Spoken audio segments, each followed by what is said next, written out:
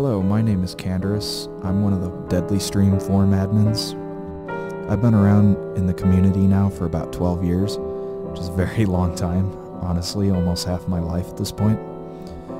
I first played M478 way back when I first joined the community before it was the Enhancement Project, and honestly, I don't remember what it was like that much.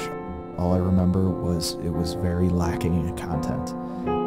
I hadn't gone back and played mod or even the game since then. So I'm coming at this mod pretty much with a fresh perspective in 2020.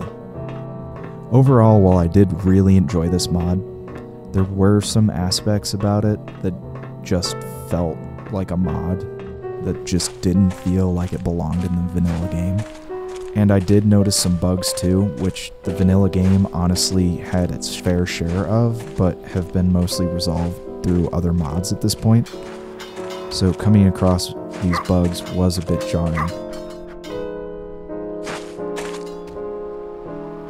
I noticed occasionally blades would teleport from one place to another while walking on a path. And I managed to trigger the I-102 cutscene twice, even though I had already completed that part of the quest. And it was over an hour later into the gameplay.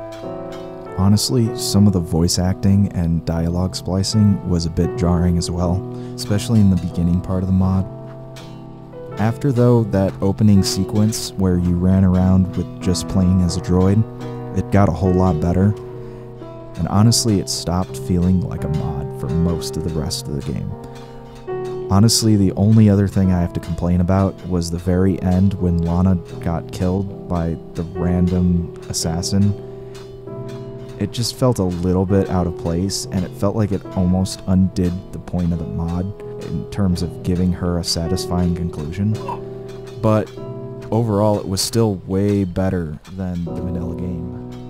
And honestly, at this point, I don't think I'd ever want to play this game without this mod installed because this was just much better way to treat that Jedi Master.